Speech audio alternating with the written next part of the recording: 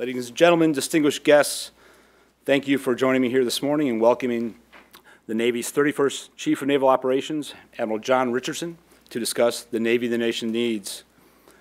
The Navy maintains a constant enduring presence of almost 100 ships and submarines forward deployed around the globe to deter potential adversaries, reassure our allies, and ensure the freedom of the global maritime commons for all nations. The challenges facing the 21st century Navy have never been greater. As a formidable as these security threats are, there are those who would argue that the greatest challenge to our nation's Navy has come from our own Congress. Over the decade of continuing resolutions and fiscal constraints of the Budget Control Act have had a cumulative effect of degrading the capacity, capabilities, and readiness of the U.S. Navy. In light of these increasingly complex maritime security environment and the recently released National Defense Strategy, CNO's discussion today could not be more timely. As a retired submariner myself, I'm greatly honored to be able to host the CNO today. I too was also a physics major, and uh, we also share another common, uh, common uh, piece in our history that Admiral will talk about. Uh, Admiral John Richardson, graduate from the United States Naval Academy in 1982 with a Bachelor of Science in Physics. He holds master degrees in electrical engineering from MIT and Woods Hole and national security strategy from the National War College. At sea, L. Richardson served on numerous submarines and commanded USS Honolulu and was awarded the Vice Admiral Stockdale Award for his time in command. Thanks. All right. Thanks, All right. Hey, welcome everybody. Thanks so much. I want to thanks Tom. Thanks for that generous introduction. And we do go way back, as Tom uh, alluded to, uh, back to the Naval Academy, fellow physics majors. I copied Tom's papers a lot to get to, through here and also rode together. So uh, it's just a lot of time staring at each other, the back of each other's heads uh, in the boat. So Tom, also want to thank you and the foundation for being so flexible uh, with our schedule and, and, putting this event together. And uh, I'll tell you what, in terms of events, there are, as I've said in a couple of other times, there's sort of, they, they go in three categories, right? You get a lot of invitations a remarkable number of invitations. And there are some that uh, you don't want to do and you're not going to do. You just sort of say no. And then there are some that uh, you'd rather not do, but you probably have to do. And so you say yes reluctantly. But then there are some that you really sort of out, you know, shop it around for, that you really want to do. And this was one of those events. I really am eager to be here. And I want to blast through, given I just looking around the crowd, there's a people who know as much or more about naval strategy than I do in the crowd, and I want to get through my remarks as quickly as possible, get to the uh, question and answer period, which I think will be uh, a lot of fun. And again, you know, it's a pleasure and a privilege to be here uh, at Heritage, who's you know, the, the, the foundation itself has a uh, has just a, a firm reputation for supporting national security and the Navy in particular just start before I get uh, into my remarks about just a quick operational update as I speak to you now. My brief this morning showed that we have uh, 92 ships forward deployed in the United States Navy today, about 60,000, a little more than 60,000 sailors uh, forward deployed. Uh, that includes uh, two underway carrier strike groups, and of course the Ronald Reagan Carrier Strike Group, uh, the forward deployed strike group in Japan two amphibious ready groups with their embarked Marine Expeditionary Unit. Uh, of course, those strike groups come with their embarked air wing, which is really the fighting arm of the, of, uh, the carrier. Uh, 14 attack submarines uh, deployed today, which is a bit of a high point. You know, our, our normal uh, force offering there is between 10 and 12 normally. SSBNs on patrol, as they have been 100% of the time since 1960. And uh, that, you know, that's an important part. Maintaining that, uh, that alert status is an important part of our program going forward. And we have six uh, cruisers and destroyers on BMD station.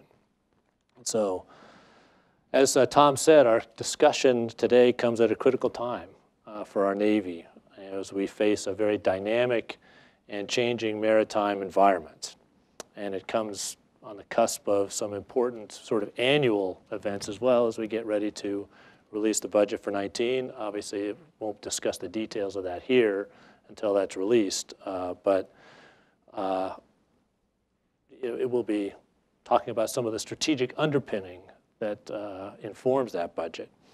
And as we're talking about strategy, another uh, realization, a reality is that the national security strategy has just been recently released, as has the national defense strategy just a couple of weeks ago. Uh, and Secretary Mattis in that strategy provides a much needed framework. In fact, if you think about the Navy the nation needs, you know, there's sort of an ellipsis at the end, uh, you know, dot, dot, for what? Well, the Navy the nation needs to fulfill the maritime responsibilities in the national defense strategy, right? So we have one strategy for the department, that is the NDS, and this could be seen almost as, you know, part of the maritime component of uh, that strategy. So we're using the tagline, the nation the Navy needs. So uh, as I said, we'll get through a quick discussion of the security environment, and then we'll get to questions. And so I thought I would uh, throw up a couple of charts. I don't want to get too heavy into the charts. Um, this room looks a lot bigger on the pictures, but uh, so it's kind of an intimate setting. I don't feel too bad uh, spending some time on a couple of charts. And if you look at a map of the world, uh, well, this isn't an uncommon you know, format for that uh, depiction, right? And so you see uh, you know, a lot of geography, right? Most of the uh, political maps that you see are maps that focus on the land part of the globe. And so you've got both the political and geographic things represented here, uh, cities, towns, roads, those sorts of features. Not uncommon, as I said. And then there's this, you know, blue stuff that uh, connects it. And I will tell you that this is kind of how I see it, right? And so I start with the blue. In fact, it's not that. That's just the template on which I see it. Uh, I see it more like that, okay, which is a depiction of just how busy things are in the maritime and getting busier all the time. So we'll, we'll, talk in the context of the return to great power competition this morning. And uh, you know, by virtue of you know, that word return we'll go back to the last time we were in uh, great power competition and just make some comparisons. Because I would say this, it's just not you know a rerun of that last time. And in the, I would say the last time we were in great power competition was on the order of about 25 years ago, right? The, the Cold War. Um, since that time, in the, in the last 25 years or so, maritime traffic, just ships on the ocean, has increased 400 percent. And if you consider the fact that people have been going to sea for tens of thousands of years, right? 10,000 years is probably not a bad estimate. Uh, to see a four-fold increase in the last quarter century, you know, just think about what that means for us in terms of just managing that amount of traffic. And it's fueled the uh, roughly doubling of the, of the GDP of the globe, right? So a lot of that, uh, of, uh, of that uh, prosperity has been manifested and enabled by maritime traffic. Megacities continue to grow, uh, expected to be, grow from 31 to 41 by 2030. The vast majority of those megacities within 100 miles of the coastline. We're turning to the sea more and more for our food, our sustenance, both carbohydrate and protein. And aquaculture, as it's called, has, has uh, increased 13-fold and is expected to continue that way going into the uh, future. Uh, I don't know if this have a, a laser. Don't know. Anyway, uh, on this chart are depicted a number of things. So you can see in white there are the sea lanes.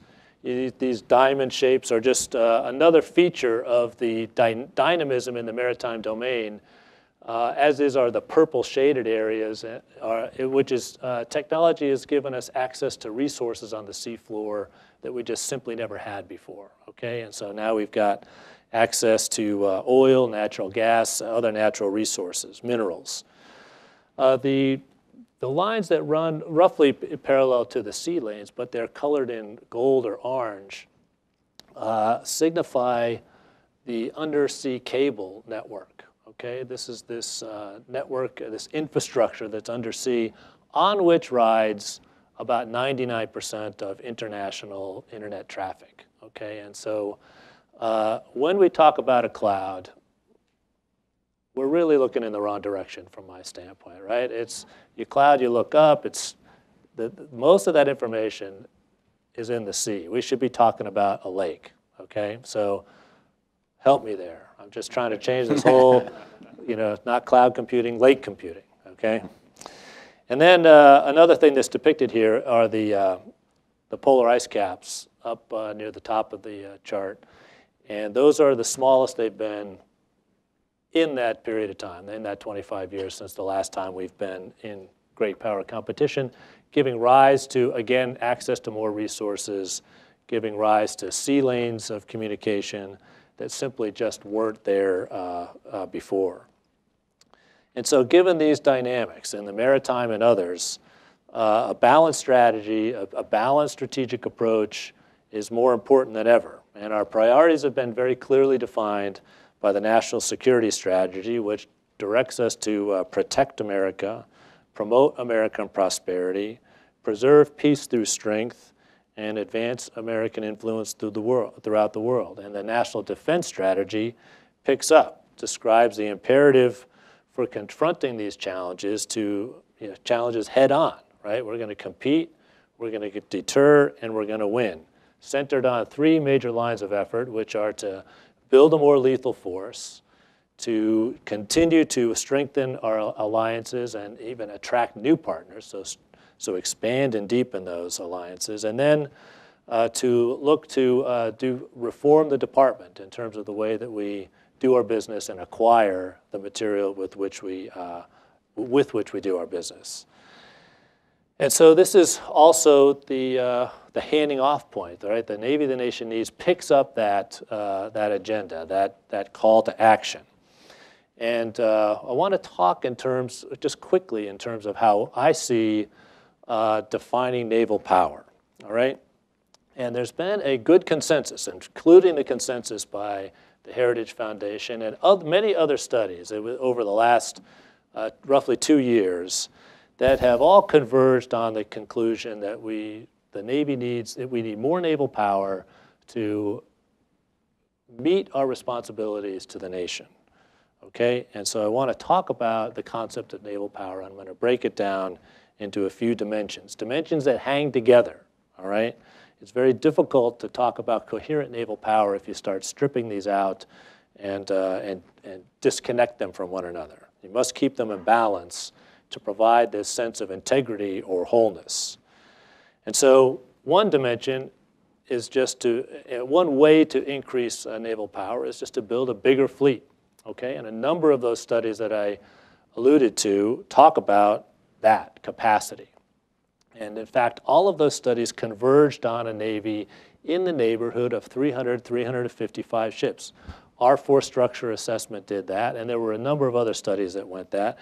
And the Congress picked up on that, and the National Defense Authorization Act has a statement in there that we will do everything we can to achieve a 355 uh, ship Navy, uh, subject to appropriation and authorization and all those things. And so this idea of the numbers of platforms, right, not a great leap of intuition that a bigger Navy is a more powerful Navy. A second component, a second dimension of naval power would be to build a better fleet. And so if you modernize each one of those platforms and, and other ways uh, with better systems, make each one of those things more capable, then that means you know, each one being more capable, they sum up also to more naval power, a more capable fleet. And we're actually on the cusp of some you know, very intriguing technologies that would not only increase our capability, I would think uh, you know, very much, but also could do so and get us you know, on the correct side of the cost curve. And so I'm looking uh, hard at things like directed energy, uh, high power microwave, lasers, electromagnetic maneuver warfare, and other uh, innovative ways. Also in this uh, group, uh, you know, this, this uh, you know, better fleet, this capability dimension, we might want to consider things like unmanned. And so depending upon how we think about unmanned, some of those unmanned platforms may be kind of in the platform dimension, many of them here in the capability dimension. And so we're looking uh, you know, hard at uh, building out our family of unmanned underwater systems, surface systems, and air systems third dimension of power, as we the naval power, as we think about it, is to take those platforms with their uh, inherent capability, which we can increase, and then network them together. So this third uh, component is a network fleet. So we have sort of a bigger fleet, a more capable fleet, and now a network fleet. And there are plenty of examples in history where just the power of networking things together creatively, adaptively, uh, brings actually more power to that force. And so we can talk about some of those historical uh, examples. And, but it makes intuitive sense as well, right? It sort of checks with the chart that if you're able to share data more uh, across the force, you're able to respond to that awareness with more agility, uh, and you, you can be a more powerful fleet. Uh, not talked about enough is uh, what I'll call the fourth dimension, which is a more talented fleet. And if you think about the, you know, growing these other dimensions, growing naval power, at some point we're going to have to man that fleet with sailors. And so there's also sort of a number of sailors dimension, but also the skill sets with which those sailors are going to need different than the ones that uh, we have right now, right? And so particularly as you think about, well, let's talk, go back to that network fleet, right? We're talking about uh, sharing and trying and assimilating, uh, sifting through uh, you know, vast amounts of data that come from uh, growing sets or networks and, and, the such. And so, you know, as we get, uh, you know, a bigger fleet, okay, we're going to need more sailors. As we get a better fleet, we're going to need sailors that are trained a little bit differently than we train them right now. Those systems demand different skills.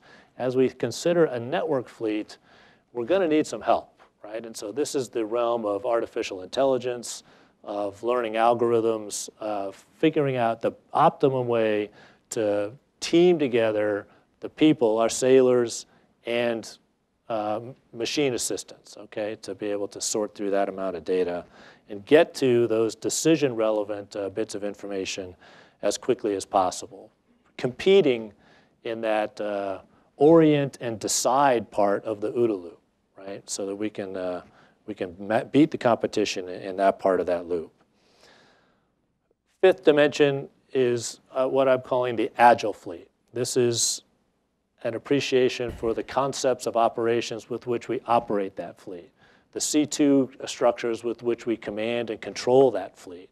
And so once we have built this fleet, we've modernized it, we've networked it, we've manned it with appropriately trained sailors with the assistance they need, we've got to figure out uh, how we're going to operate it. And there's always, as you know, a dynamic tension between sort of the technology that's, a, that's available to the fleet and the ConOps with which we operate that fleet. And so those two, I don't know if it's a tension, maybe it's an interplay is a better way to describe it.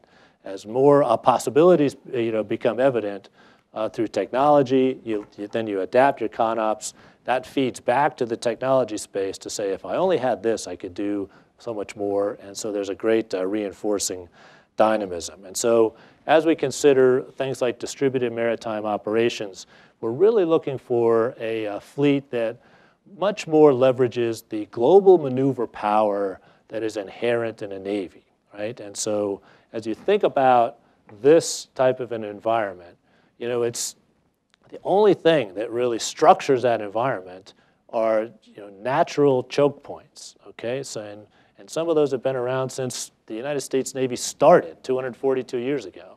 And you can see them up there, Gibraltar, the Suez, the Bab el-Mandeb, the Strait of Hormuz, the Strait of Malacca. Uh, all of these choke points sort of define our structures. What it is not responsive to is artificial lines, right? So combatant commander boundaries and those sorts of things. We have to make sure that we, we preserve the inherent uh, agility of the Navy as it maneuvers. We don't think so much in terms of where a particular uh, naval capability is, right? But uh, not only where it is, but then it's only a few days away from wherever it might need to be, okay? There's this idea of tethers rather than, you know, a one or a zero presence, all right? And then final dimension, this is getting complicated, so uh, the only thing I could have done worse is to have every one of these things on a slide. So, uh, uh, so the, the final dimension is, you know, everything I've talked about right now is sort of a fleet in being potential energy, if you will. Until you get that force out and you train it, and you, this is the ready fleet, okay? And so uh, turning all of that potential power, that potential energy into kinetic energy requires uh, readiness. And that means you got to go out, you've got to steam, you've got to fly. You've got to have your uh, magazines full. You've got to have your logistics uh, element in place. You've got to have your parts. You've got to do the maintenance. You know, all of those things uh, bring that fleet to light, if you will, and, and turn it into actual, uh, actual energy, actual fleet capability. And so I hope you know I've painted a, a picture then of, of naval power composed of elements. And uh, it is that wholeness, right? It's a, uh,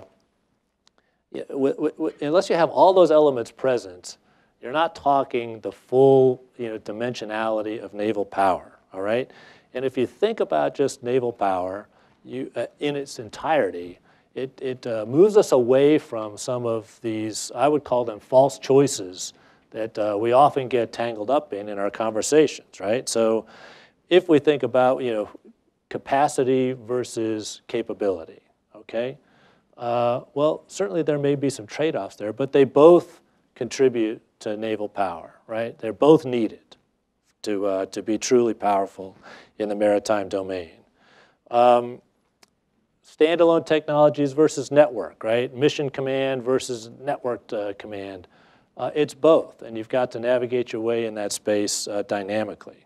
Okay, and so there's these there's these trade-offs that when you think in terms of naval power, uh, we, we can elevate our thinking above these false choices and, and concentrate on what's important. It's like the nu- I'm going to just go nuke on you for a little. It's like the nucleus of an atom, right?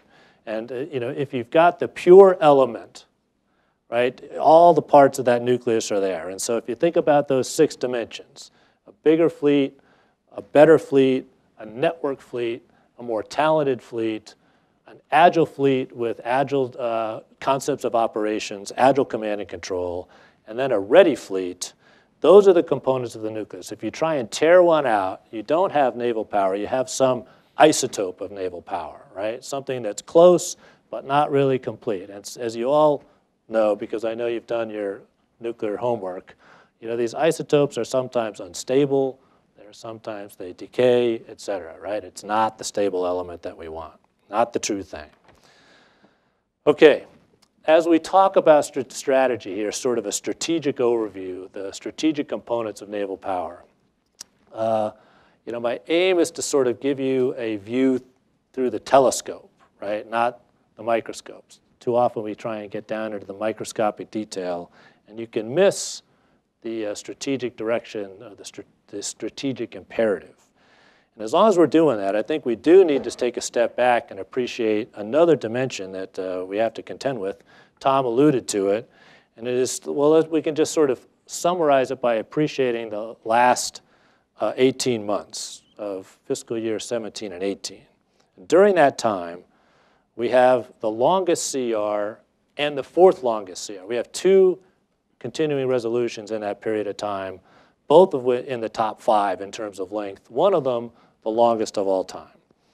Uh, during that 18 months, we've operated five months with an enacted budget. The rest of the time has been on continuing resolutions. Currently have really no top line and a government shutdown. Okay, just uh, uh, went through that. This type of uh, dynamism also impacts strategic planning and degrades the industrial base and has a strategic uh, effect on uh, not only the Navy the nation needs, but the uh, national security that we need. And most importantly, perhaps, I will tell you that working through this squanders the most precious resource, which is time. Okay, we're spending time managing through this churn rather than getting on with the strategic direction we need to maintain. Okay, before I come to a close, I talked about command and control. As we move into this uh, great power competition, as we build a more lethal Navy, uh, as we build more ships with more advanced technology, talented sailors, none of those by themselves are sufficient to respond to today's complex challenges without commanding officers of ships that are focused on competition, focused on building teams that can go out there and compete and win. And so just as we have done throughout our history, we're going to continue to focus on developing commanding officers who are almost literally obsessed with building winning teams, teams that can compete and win again and again on a sustainable basis. That is our business. Right? As I said at the Surface Navy Association, in many ways I envy uh, our, our, our uh, sister services, our ground services, because they can go to places like Gettysburg and they can walk the ground. And, and so many of the features of that battle are still resident there, and you can see the terrain of just say, for instance, Pickett's Charge, Little Round Top, et cetera. In our business, the winners sink and the losers sail away. And in our business, we want to be that Navy that sails away. So let there be no doubt. In uh, times of triumph, times of turbulence, rough seas, calm seas, our Navy is operating around the world to secure our interests, protect America from attack, protect our prosperity, our influence around the world, ensure our way of life, which has always been linked to the sea in the United States. We are a maritime nation. We hope that by virtue of this construct, we will build the Navy the nation needs, uh, a safe Navy for our sailors, a reassuring Navy for our partners, and a lethal Navy for our enemies. So with that, that's the end of my prepared remarks, and I am eager to take your questions. Thanks very much.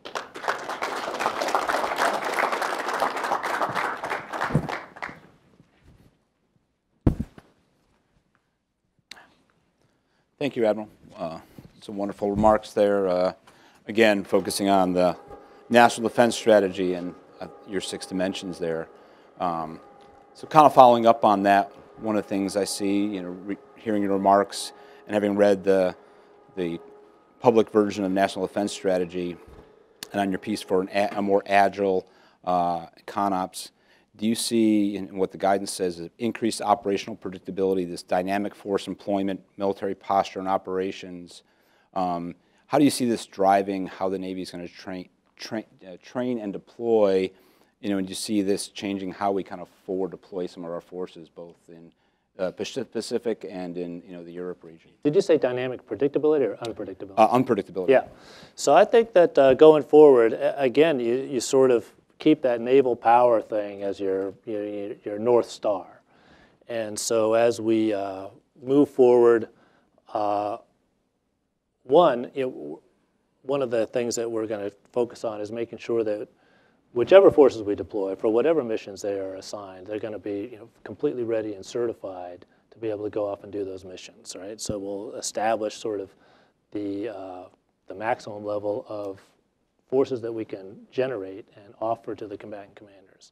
And then in terms of how we employ that force once it's out there, very fast moving uh, train, uh, you know, in, in, this regard. And so as we uh, train, certify, and deploy strike groups, you know, some of it goes back to some of these CONOPS and technology that they're bringing with them. Really, uh, a, a, very dynamic environment as we move forward into this, you know, this new competitive uh, arena that we're, we're entering. And then in terms of, uh, I think that uh, unpredictability you know, for, for our competitors is good as long as you know, it's sort of strategic uh, predictability on the, and, and end up reassuring you know, our allies and partners. So we'll just have to you know, figure out how that goes, always with this you know, becoming sort of a more lethal, more reassuring Navy as our, as our, guiding, uh, our guiding force there. Thank you, sir. Um, another thing that ties into what you said of all these of, of, the nucleus and having all the parts that you have to do. Was that too um, much? Was that too technical? No, I, I, I, I, was geeking out on it, sir. so I, some of some of the uh, audience may not have, but um, Megan, I know, she she followed me right. okay, all right, I got it. Um, but it follows up. So, you know, Chairman Wittman, uh, you know, wrote an op-ed in, Navy, in Navy Times a couple days ago. One of the things he tied in there, he said that the Navy needs more ship, more resources, and more time to complete maintenance and training in order to operate the necessary pace the Navy requires. Right, the the administration um, and Congress have both supported the five, 355 ships, as you said. So we need a bigger Navy. Um, but also, as you've seen, right? We need to store that fleet readiness. Um, those two demands, you know, kind of both in, in the resources piece, um, how do you see yourself able to, working with SECNAV, to, to both, to simultaneously build the fleet and restore readiness and provide that time? Right. So, uh, well, first of all, the Secretary of the Navy has been, you know, completely. Uh, I mean, he's actually out in front of this, right? So he's leading us down this path, and so it's been uh, just terrific uh, to get to know him more and to work closely with him and to to you know, sort of make his vision real. Uh, and as we do that, it is sort of a uh, you've got to keep this this concept of wholeness in mind. So as we build more naval capacity, right, with that comes the need to make keep that whole, right? And so uh, the the only other uh, consequence is that we we build something if we don't in, integrate that wholeness from the beginning it just becomes sort of a latent bill later on, right? Uh, for the really, you know, down uh, at the waterfront, at the fleet commander level, they have to deal with that imbalance. And so we've taken on, uh, you know, a much more holistic approach to putting that program together, always mindful that as we increase capacity, as we increase capability, the rest of those, you know, other five dimensions, if you will, you know, the readiness has got to come with it. We've got to invest in that as part of the total ownership cost of, of the Navy. Um, and tie on. So I'm sorry. This gets to that isotope thing, right? If we start to disassociate those, we end up with uh, with problems, right? Uh, things that are built that aren't uh, ready to go. Yes, I understand. We've been there. You know, not enough sailors and modernization. Um, and to tie up one you, what you said about the five of 18 months, you know, with uh, that we only had a budget the rest of the time under a continuing resolution and in some of your recent testimony, you said, on, you know, on a scale of one to 10, you said stable and adequate funding was, a, was an 11 right. on that piece. Um, are there some key uh, um, issues that have had of the impact of even the current CR on maintenance and ship recurrent you see in fiscal year 18? Uh, absolutely. Uh, in fact, maintenance might be one of the things that takes uh, one of the biggest hits. Uh, uh, I mean, doing particularly deep maintenance on a naval vessel, that, that's a big that's a big undertaking, right? It, it requires planning.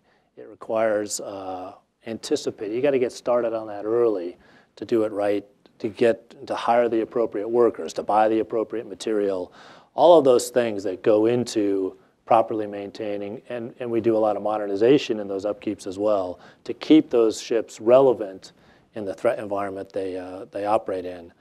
And so uh, when you have these sort of fits and starts, these uncertainties, uh, you, can't write a contract unless you've got the funding to back that up. And so these sorts of things really slide right. They kind of bow wave to the right. And uh, again, you know, you sort of lose that most precious resource, which is time. And so, uh, you know, planning can get can get shortchanged. Uh, the materials don't come at the optimum cost. Workers are very difficult to hire. And, and, some of the talented workers say, hey, listen, this, isn't, this is just too volatile for me, and I'm going to go someplace where it's a little bit more stable. And so a lot of that talent leaves the workforce and may not come back. And so it's, it really starts to have a, uh, a toxic effect. Yeah, I, I agree. I think, you know, and I think most, a lot of the average public doesn't understand the impact of taking these operational ships out of commission for maintenance periods for sometimes years at a time really reduces that number you have available to deploy. No, you hit it exactly right. So uh, if you think about naval power, a ship that can't go out to sea because it's not maintained, that's not a ship that's delivering naval power, right? Because of that reason. And so, so again, you know, the importance of keeping that naval power thing as your front and center goal uh, helps you see that. Great, sir. Um, one thing I'll tie in is uh, that you know, the recent year, uh, the, the, issues with the Surface Naval Force. Uh, you, you had uh, Fleet Forces Command conduct a comprehensive review, um, and SECNAV had the Strategic Readiness Review. Um, and question I, I, have for you is yourself, and now with Vice Admiral Brown, the new Commander of Naval Surface Forces, um, what do you see as the, of, you know, there's a lot of corrective actions, a lot of things have been already, you've already implemented. What do you see as kind of the, the most important uh, corrective action, I think, to have the, the quickest turn and biggest effect um, of fixing those issues?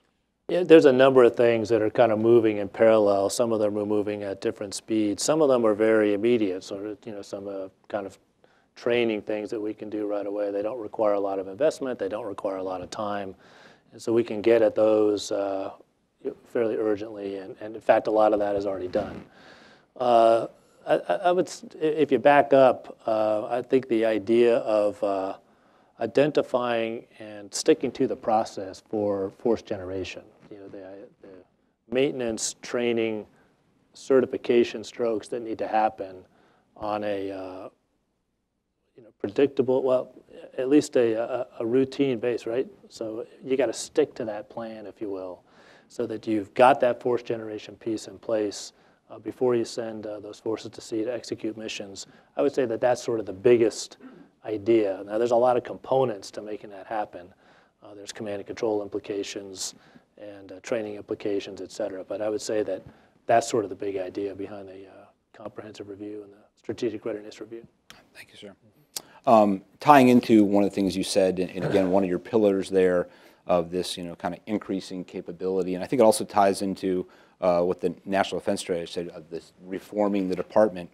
Um, I guess I would ask for, you know, some of your ideas that you have yourself um, with the new uh, uh, Assistant Secretary of the Navy for Research, Development, Acquisition, Secretary Geurts, and SecNav of how are you going, what are you implementing, what are see, things you see to speed up innovation and to field some of these new capabilities more rapidly uh, to the fleet? Um, that you see how, to, how that's going to happen? So uh, first, you know, Secretary Geurts has brought just a tremendous amount of energy and, and insight into the business uh, coming from SOCOM, where he was the acquisition executive down there. So it's been, uh, you know, again, this new team that's forming is uh, really terrific. The uh, things that we have been doing, I would say one of the most important things is that we're starting to have meaningful conversations with industry and the research and development business earlier on in the process, right? So that uh, the idea is uh, that uh, we're just going to have a, system that can get to the sweet spot between requirements, what is technically achievable uh, in a at a maturity level where I can make some predictions about cost and schedule that I can stick to, and and then take that stroke, right? Move, make that move uh, that might involve some prototyping and, and those sorts of things. We'll get through that phase fast and then get it to the fleet as fast as we can. So this accelerated acquisition program that we've got. And, uh, and then even as we're delivering that step, Tom, we want to make sure that we are thinking about the next step already, right? And so we get into these fast iterations of capability increase informed by what is technically achievable uh, that allows us to ride that technology curve a lot closer, right? Now we've got to quicken the pace, right? We've got to be doing those iterative steps a lot more quickly than we are right now. And uh, so we're starting to do that. So as we think about families of underwater uh, unmanned vehicles, families of missile systems where we're, we're, moving forward, uh, the MQ-25, our unmanned uh, aircraft, carrier-based aircraft has been moving quickly. I would say that the new frigate is adopting some of those uh, features as well. And then, you know, I look forward to leveraging all of that into a future surface combatant. So there's a number of different things uh, that we're doing. This directed energy business uh, that I talked about at the podium, all of those things are kind of in the, the fast lane and uh, uh, using these new techniques. And then, you know, Secretary Geurts is educating us all about, you know, other ways to get this done as well. Tying with that is, you know, specifically you mentioned in, you know, in your remarks talking about um, how artificial intelligence, machine learning, you know, man, man, that unmanned teaming, how it can help that OODA loop, uh, and also the integration of unmanned systems in there. Um, with so much of that work in, in research and development happening in a lot of those systems out in the commercial world, yeah. is uh, how is Navy, the Navy uh, integrating with the commercial industry to bring in their ideas and, and kind of insert their technology rapidly? Well, uh, we work with a lot of commercial partners, uh, private sector partners, just as a matter of, of routine.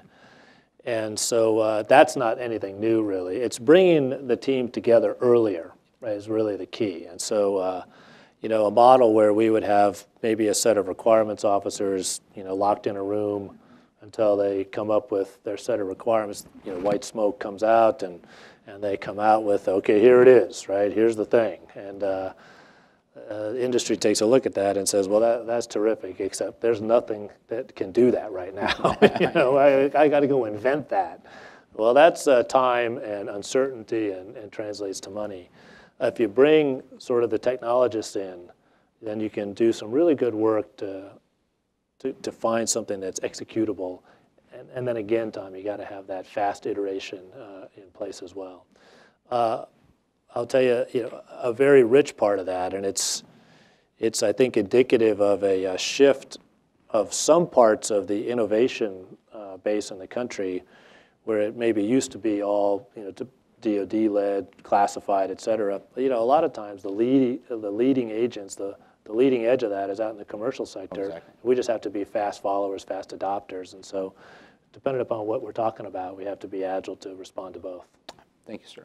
So I don't want to take up all the time with my questions, uh, so I'd like to ask some questions uh, from the audience. Uh, so wait for, when you get the microphone, uh, sir, uh, state your name, uh, where you're from, and then your question.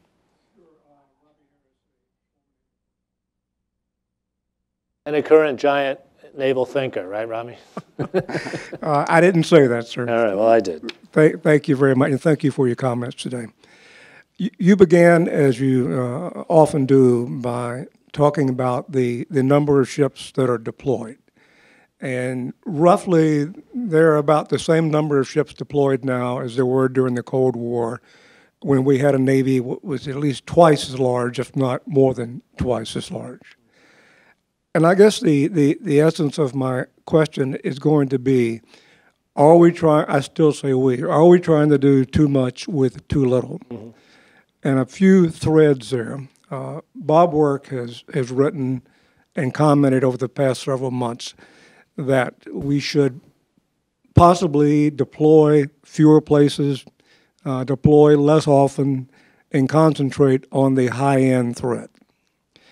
Um, when Admiral Rowden spoke over to SNA uh, a couple of weeks ago, just before you did, he said the um, the solution to some of the problems that the surface force faces is more ships, but it takes a long time to build more ships, and more time, fewer distractions, or what I don't know if he used the word distractions, Not a bad I- word. obligations. I think he said fewer obligations. I would say an obligation is different than a distraction. Yeah, I- and I, and I agree with that. Uh, obligations. And then when you spoke a couple hours later, um, you said one of your responsibilities was to, to I think, to lessen those obligations, or maybe to remove distractions. It, it comes down at the end of the day, I think, to doing, doing, not doing too much with too little. How do we free up the How do we free up the Navy, Yeah. as Bob Work has suggested, to concentrate on the high end on the high end fight? Right. How do we have more time for training to make sure that when the ships do deploy and to deploy to the right place that they're ready to go? So, are we trying to do too much with too little? Right. That's a, you know, it's sort of the fundamental question, right? And so some of that, uh, those ratios that you described in terms of number of ships deployed versus the number of force uh, ships in the battle fleet, you know, some of that can be achieved because we actually do get more efficient and we build some of that efficiency in. And so, but you know, we're seeing uh, that uh, you got to be careful. You can go too far, right? And you can stretch too thin.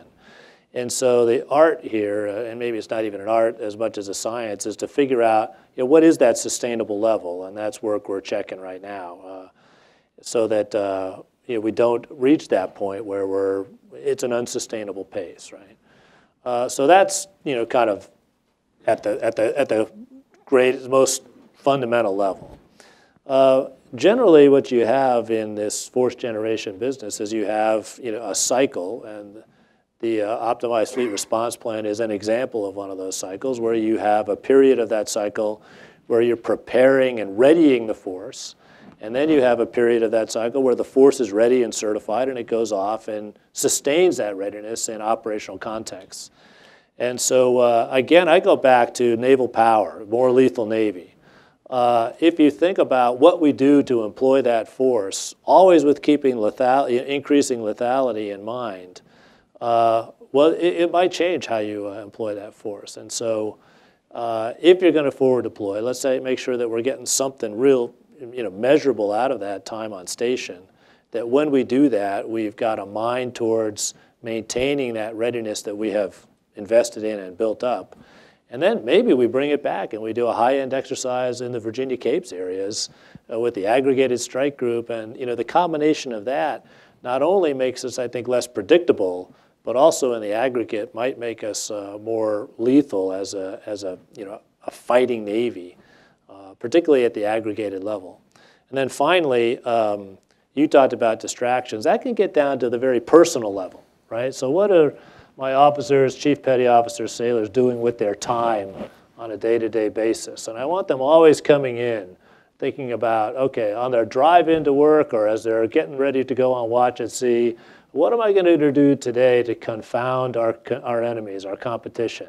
And at the end of the day, as they're driving home or before they put their head down on that rack, they could say, what did I do today, right? And what might I do tomorrow?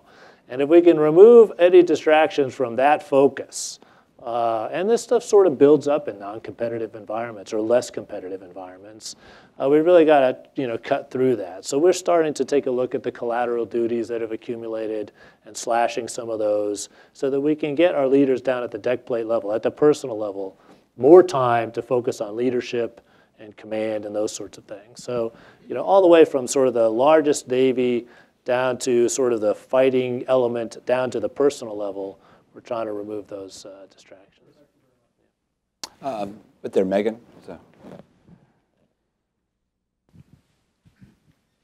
Thank you. Megan Eckstein with USNI News. Um, to go back to Tom's question about how the budget environment affects your ability to kind of keep that nucleus together, um, NAVSEA has talked about how they're now contracting for modernization periods with multiple years money uh, rather than maintenance uh, availabilities where it's only one year money. Are there other ways the Navy's sort of adapting how it does business to keep that nucleus together with the kind of weird budget environment, or are you really stuck in some areas where you just need stable funding?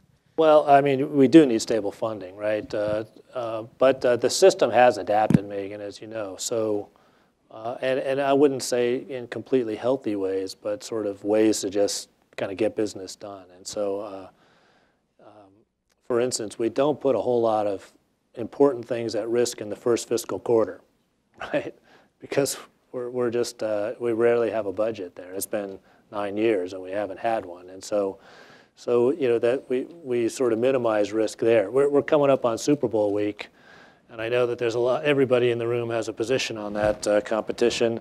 But I know that uh, in competition that's that close, you can't expect a team to win if they only play three quarters out of four right? And that's kind of what our fiscal environment uh, is asking us to do in many ways. Uh, we talked about the time penalty. There's the staffing penalty. A lot of uh, the contracts that we talked about have to be written twice, you know, for those periods of time. And so we're, you know, we're adapting, but it's really, uh, you can do some things, uh, particularly with multi-year money, but we have to be very, you know, we have to have this dialogue with, uh, with Congress and make sure that you know, we just have a meaningful discussion about this so that uh, you know nobody's surprised. Uh, we have on our side an obligation to you know prove our our reliability, I suppose, as we move forward, and so you know we, we do the, the best we can, I think, to try and get after that. Also, uh, going back to this wholeness concept, you know, the way that we bring the program together, um, you know, starts with our strategic direction, uh, and then we've got a, a very integrated approach, which includes keeping that nucleus intact all the way through the process. And then at the end, we, we check our homework, right? So if we started with a particular vision in mind, it goes through all the machinations. We want to make sure that the thing at the end of that process looks like what we started with. And so that process and getting all of our you know, leadership uh, connected very closely with the fleet helps us to keep that in balance so that when these things happen, we can much more, with much more agility, navigate the trade space of uh, you know, whatever the budget environment sends us. Okay. One last question. Uh, Miss there in the red.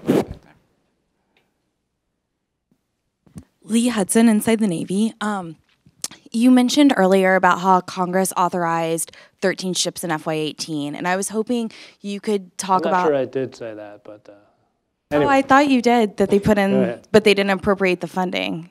I th- thought that's what you said. But anyway, so I wanted to hear the concrete steps the Navy has actually taken to grow the fleet. And I know that the president, you know, mentioned on the campaign trail the 350 ship Navy. If you could give us examples of that. Well, I think uh, a lot of that is pending, right? So uh, when we get an 18 budget and then, you know, the subsequent budgets, we'll just, I I think that's news still to come. I mean, It'd be premature to talk about it now. Uh, One last question. Um, Yeah, the gentleman right there. Wait for that.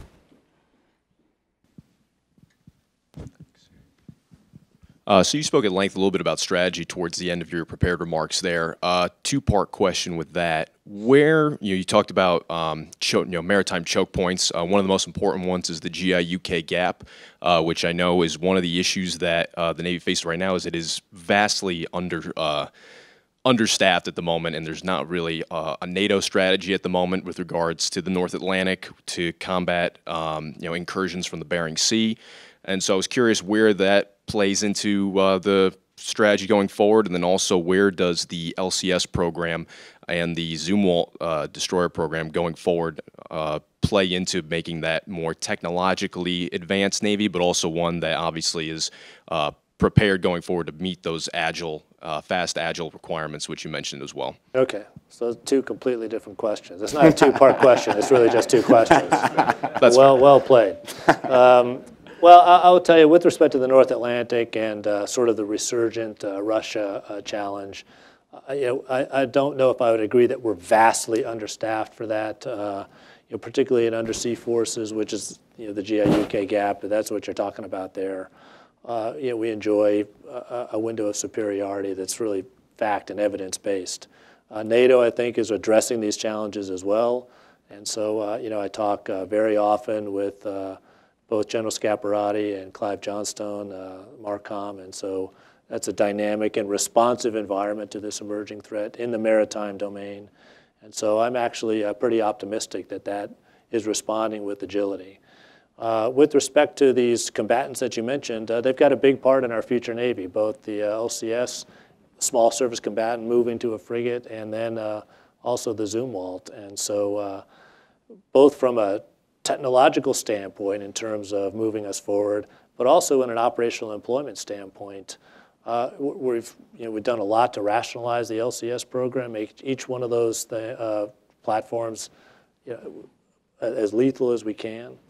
Uh, they're going to play important parts of our Navy going forward. Each one has, uh, has become more capable on delivery with fewer problems. Uh, so we're coming through the engineering and uh, design issues and uh, you know, as we do with every single new shipbuilding program, we sort of learn our way forward. Uh, and so those are going to play a big role, particularly with that agility part. And they're going to, and each one of those platforms plays its role in the team, right? So uh, we don't need to make every ship do everything, right? Uh, and so they'll be employed sort of consistent with their capability, okay?